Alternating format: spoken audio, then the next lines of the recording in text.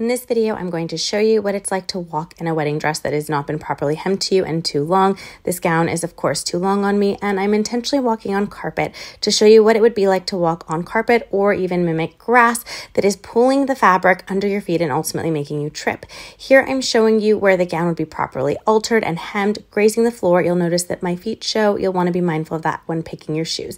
Easier to walk on smooth surfaces, like and follow for